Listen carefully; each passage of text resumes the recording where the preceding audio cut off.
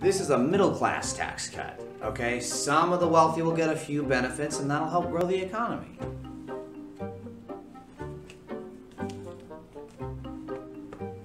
But won't that blow a hole in the budget? That's all going to be offset once we see the growth in the economy we're expecting, and the GDP will skyrocket.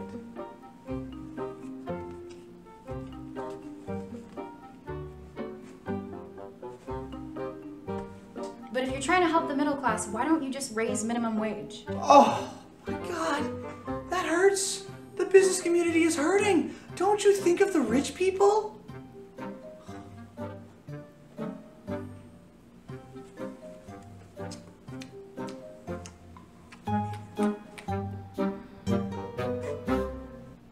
Now, all of you lying media need to listen closely and like this video, okay, right here to watch another one, or click here to subscribe, okay?